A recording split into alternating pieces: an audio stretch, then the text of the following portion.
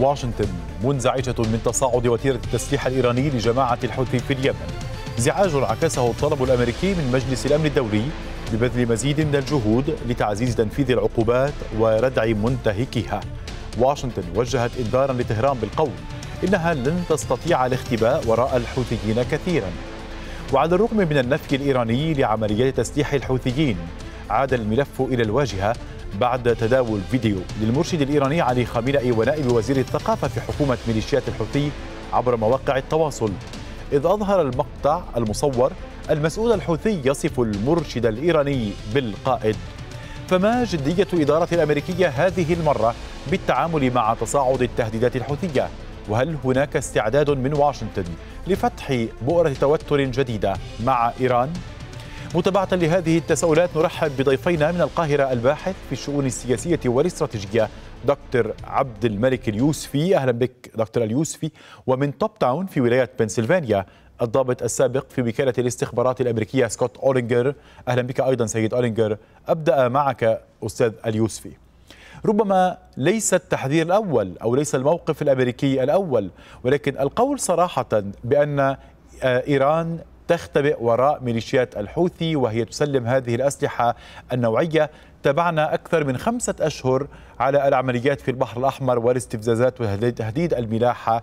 لم يكون الموقف الأمريكي أو حتى البريطاني وموقف التحالف حاسما. هل تضاف اليوم أزمة جديدة واندفاع نحو الحسم الأمريكي في مواجهة الحوثيين واتهام إيران مباشرة؟ تحية وتقدير لك أخي أستاذ روبير ولضيفك وللمشاهدين الكرام. هو التعبير الرسمي الأمريكي اليوم هو عبارة عن تصاعد في التعبيرات الرسمية فيما يتعلق بتشخيص المشكلة الحقيقية التي تتعلق بالحوثيين وهو أن الصراع مع إيران وليس مع الحوثي، الحوثي مجرد أداة نعم كان هنالك تعبيرات أمريكية سابقة بهذا المعنى لكن لم تكن بهذه الصراحة التي تضع النقاط على الحروف بأن إيران هي من تدير المشهد وأنها تختبئ وراء ميليشيا الحوثي وبالتالي الإرهاب الحاصل في البحر الأحمر وخليج عدن. والإرهاب هو امتداد للصراع في المنطقة والتصعيد الإقليمي القائم الذي تديره طهران عبر أدواتها المختلفة. وبالتالي التعاطي مع هذا الإرهاب من قبل الإدارة الأمريكية لابد أن يكون حاسما في تحقيق الهدف الذي أطلق من اجله حرس الازدهار. وهو حماية الملاحة الدولية من هذا الإرهاب. إلا أنه بعد قرابة داخلين في الشهر السابع بعد ستة أشهر من إطلاق عمليات حارس الازدهار والإرهاب القائم ما زالت العمليات فاشلة ما زال الفشل قائما وما زال التهديد قائما ما زالت العمليات الإرهابية الموجهة ضد التجارة الدولية بوتيرة وإن كانت ليست مرتفعة كما في السابق إلا أن التهديد ما زال قائما وبالتالي أمريكا وبريطانيا تحتاج لإعادة تشخيص بقدر ما شخصت المشكلة أن تعيد صياغة المقاربات التي تعمل عليها من أجل إيقاف التهديد.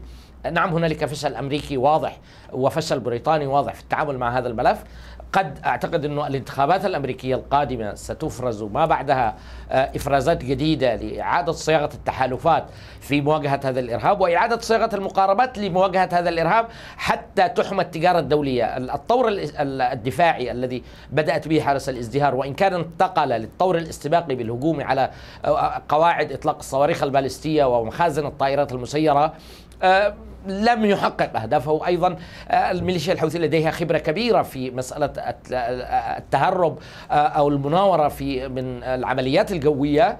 القواعد المتحركة للصواريخ البالستية أيضا تتيح الطبيعة الجغرافية لكثير من المناطق التي تتمركز فيها. قواعد إطلاق الصواريخ تتيح لميليشيا الحوثية هامش كبير من المناورة. سأعود إلى هذا الوضع الميداني والحسم دكتور عبد الملك. نعم.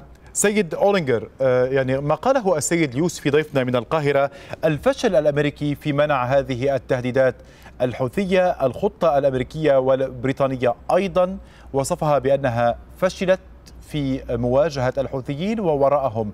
إيران تدفع باتجاه هذا الموقف الأمريكي والمتصل بعدم الحسم.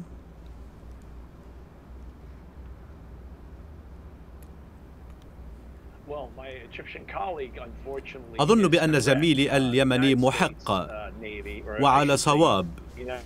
فالبحرية الأمريكية قد أخفقت نعم ومع المملكة المتحدة. الولايات المتحدة حاولت بمثلا وقف الحوثيين ولكن هذا بسبب انخراطهم مع إيران والتي هي المساعد الرئيسي للحوثيين بتقديم الأسلحة. وأيضا الاقتصاد المصري قد تضرر كثيرا بفقدان الإيرادات من قناة السويس. أعتقد أن الولايات المتحدة الآن الولايات المتحدة الآن تتحدث علنا وتقول إن إيران تدعم الحوثيين مباشرة. ربما هذا إشارة إلى أن إدارة بايدن ستتخذ موقفا صلبا ضدهم وآمل أن يحدث هذا. ولكن هذه الصلابة كيف يمكن أن تترجم على الأرض؟ هنالك الكثير من الملفات الخلافية الأمريكية الإيرانية. وفيما وصفته واشنطن بوست بأنه خجل أمريكي من مواجهة إيران أو ربما إخفاقات؟ سيد أولينجر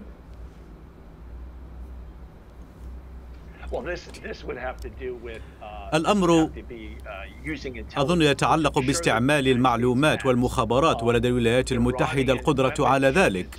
مثلا شحنات الأسلحة الإيرانية التي تبعث إلى المتمردين الحوثيين. الولايات المتحدة لم تشر أو ربما ترددت في مهاجمة تلك الأهداف لأن هذا سيؤدي إلى قتل الإيرانيين. ولكن من الواضح بأنه من الضروري استهداف شحنات الأسلحة الإيرانية قبل أن تستعمل من قبل الحوثيين.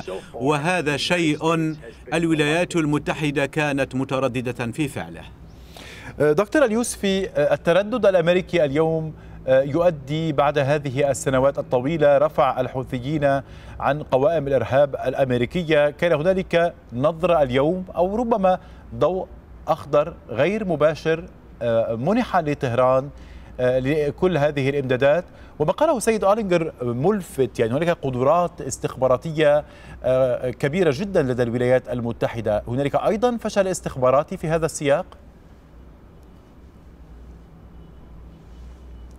حتى نكون صادقين وحتى أطرح النقاط على الحروف الولايات المتحدة الأمريكية لفترة طويلة كانت تشارك سفنها في عرض البحر في المياه الدولية في القبض على شحنات أسلحة قادمة للحوثيين حتى قبل الأحداث الإرهابية القادمة لسنوات طويلة حتى يكون المرء صادقا. لكن في في ذات الوقت وحتى نكون موضوعيين هنالك جماعات وضغط في الداخل الأمريكي عملت ضد مصلحة الولايات المتحدة الأمريكية. لعبت بالبيضة والحجر فيما يتعلق بملف الحوثيين لديها مواقف عدائية أيديولوجية معادية للعرب كانت تعتقد أن ميليشيا الحوثي قد تحقق لها أجندات معينة فعملت ووصلت حتى وجدت في الإدارة الأمريكية وعملت ضد مصالح أمريكا أولا.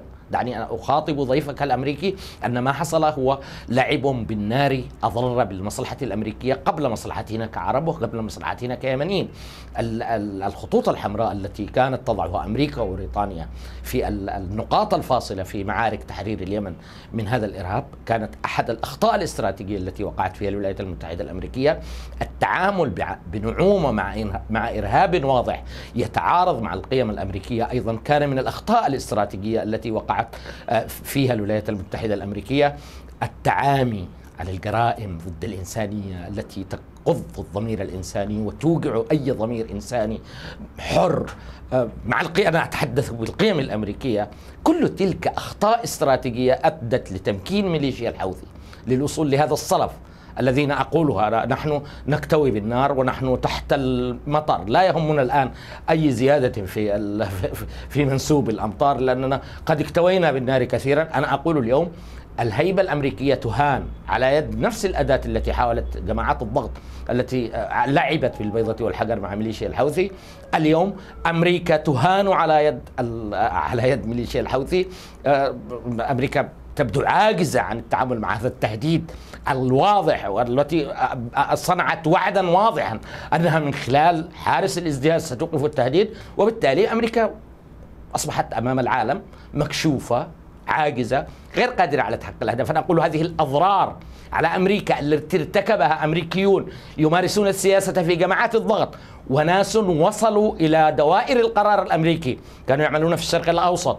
وكانوا على تواصل مع جماعات التي ومع البروكسيز التي تعمل مع إيران. كانوا بل على تواصل مع طهران بشكل مباشر. هم من مسكوا ملفات الشرق الأوسط ولعبوا بالبيضة والحجر في الملف اليمني. وها هم اليوم يكتوون المواطن الأمريكي الذي وصلت إلى جيبه تأثيرات الإرهاب بالتأثير على سلاسل الإمداد يكتوي من تلك النار ومن ذلك العبث بالنار.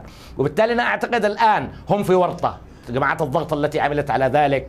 آه، مع إعادة تصنيف إلغاء تصنيف ميليشيا الحوثي كمنظمة إرهابية عبارة عن عرض لمرض حقيقي كان موجودا في الداخل الأمريكي آه، عبر عن نفسه في تعبيرات أيادي مرتعشة. حتى بدايات حارس الازدهار كانت عبارة عن عمليات تحذيرية رسائل آمل. اليوم المواطن الأمريكي الناخب الأمريكي يدرك أن ذلك وصل ووصل أمريكا وبالتالي نعتقد أنه هذا هذه بقدر ما هي خلخلت الوضع في اليمن وصنعت اضطراب سياسي وصنعت تأخر في مواجهة هذا الإرهاب.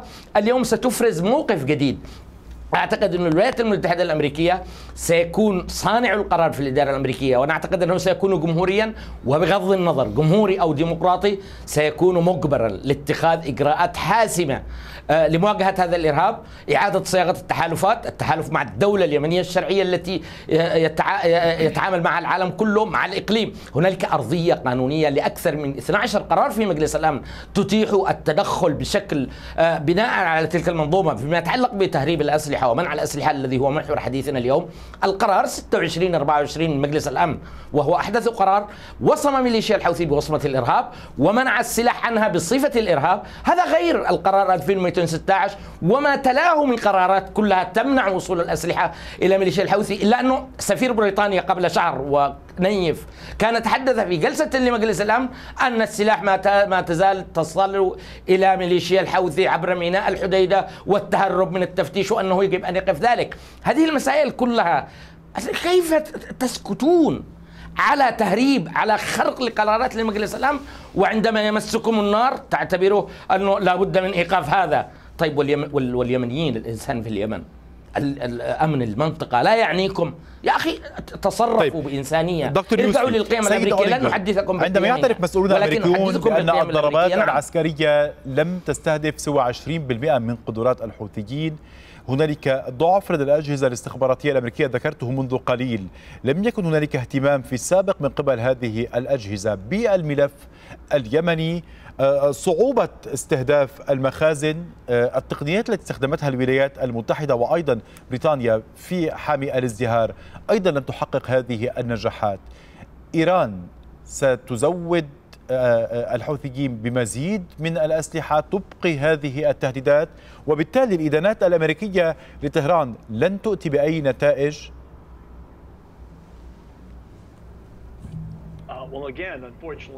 مرة أخرى للأسف أتفق طبعا مع جميع ما قاله زميلي من القاهرة.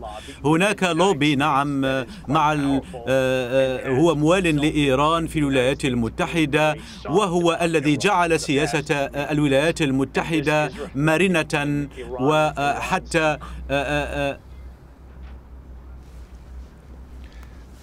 فقدنا الصوت مع السيد أولينجر حتى يعود إلينا من جديد ضيفنا من طبطن سيد اليوسفي أعود نعم. إلى إجابتك سيد أولينجر للأسف. للأسف هذا ليس فشلا استخباراتيا هذا فشل إرادة دولية. هذه الإدارة ليس لديها الإرادة لحل الأزمة لأنها تخشى من أن تتصرف بقوة ضد إيران. وللأسف برفض أن, أن تقف بقوة أمام إيران فإيران لا تزال تسلك هذا السلوك الخبيث. إنها دبلوماسية الواحد مع واحد ولكن للأسف الولايات المتحدة تخفق سياسيا الإخفاق السياسي دكتور يوسف الذي ذكرته منذ قليل ويعني السيد أونجر يوافق على كل هذه النقاط إلى أين سيدفع بالحوثيين وإلى أين سيدفع بإيران؟ بداية أحيي زميلي من واشنطن مستر أولينجا على صراحته وعلى المكاشفة في تشخيص الوضع وتأكيده بأن هنالك لوبي داخلي أمريكي وجماعة ضغط أمريكية تمارس ممارسات ضد الولايات المتحدة الأمريكية. لا أتحدث عن المنطقة ولا مصلحة المنطقة ولا مصلحة اليمن. وبالتالي أنا أعتقد أنه الآن آه، الذي يتوقف على الولايات المتحدة الأمريكية وأعتقد أن الأحداث ستفرز ذلك. هو إعادة صياغة الاستراتيجية العسكرية وتحويل هدف حارس الازدهار من حماية الملاحة الدولية إلى القضاء على الإرهاب. وهذا هو الوضع الطبيعي. أعود إلى الأرضية القانونية لهذا التحرك. تعرف أنه فشلت الولايات المتحدة الأمريكية في حشد التحالفات الدولية. لماذا؟ الاتحاد الأوروبي يتحرك منفردا. خارج حارس الازدهار الهند تتحرك منفردة الصين تتحرك منفردة العالم كله منزعج مما يحصل في البحر في باب المندب والبحر الأحمر وخليج عدن.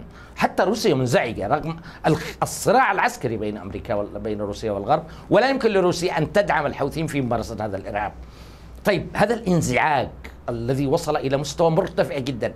لماذا لم يقنع العالم في صنع تحالف دولي قادر على على على حماية الملاحه الدولية لأنه المقاربة كانت خاطئة. الوضعية القانونية والأرضية القانونية التي انطلقت منها عمليات حارس الازدهار عبارة عن قرار منبت بعيد ليس له أرضية صلبة. لكن عندما نرجع إلى البنية القانونية للقرارات المتعلقة بميليشيا الحوثي أكثر من 12 قرار في من مجلس الأمن. فيها كثير من الخلفية التي يمكن أن تعتبر حيثيات لقرارات قادمة يبنى عليها لمواجهة هذا الإرهاب. هنالك ثوابت تكاد تكون قائمة في الأرضية القانونية الصلبة المتمثلة في قرارات مجلس الأمن. يمكن البناء عليها وبلورتها لعمل استراتيجية ليس فقط لمواجهة هذا الإرهاب وإنما أيضا من أجل صناعة الاستقرار في اليمن من أجل استقرار المنطقة. هذه المسائل كلها تحتاج لإعادة النظر. أنا أعتقد أنه اكتوت الإدارة الأمريكية واكتب صانع القرار الأمريكي من الإخفاقات السابقة والأيادي المرتعشة السابقة وهذا سيستوجب إعادة صياغة التحالفات بناء على القانون الدولي والأرضية الصلبة المتمثلة في قرارات مجلس الأمن السابقة. مقاربات مقنعة لبقية الفاعلين في المجتمع الدولي. قرارات مقنعة أو مقاربات مقنعة للإقليم لينخرط في مسألة. لأنه اليوم دول الإقليم تنظر إلى ما يحصل في البحر الأحمر عبارة عن تصعيد وتصعيد مضاد يهدد استقرار المنطقة. وبالتالي دول دول المنطقة غير موافقة على ما يجري. هل آه، هل يمكن أن ننتظر خلال الأيام القادمة مقاربة لإعادة صياغة التحالفات اولا بناء على الأرضية القانونية القائمة في مجلس الأمن وقرارات مجلس الأمن وبالتالي ينشأ عنها استراتيجية عسكرية ترتبط بمحاربة الإرهاب اولا ثم بصناعة الاستقرار لليمن واستقرار المنطقة ثانيا. هذه المسائل هي التي تفرزها الأحداث وأنا أعتقد أنها قادمة وأن ما سيحدث قادما هو الذهاب إلى مقاربات تتحول أهداف حارس الازدهار أو أعتقد أنه حارس الازدهار سيوضع جانبا أو إنشاء تحالفات جديدة يكون هدفها القضاء على الإرهاب وليس حماية التجارة الدولية من الهجمات.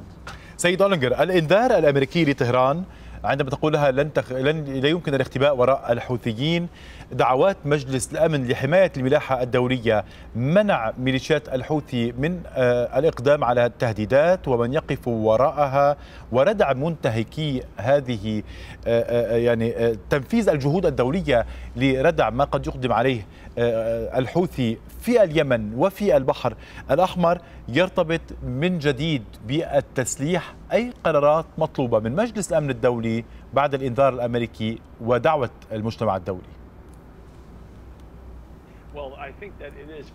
أعتقد بأنه من الممكن بالنظر إلى إخفاق عملية طبعا حارس الازدهار. فالولايات المتحدة الآن تنظر في العمل ربما من خلال الأمم المتحدة لمواجهة هذه التهديدات كما ذكر زميلي.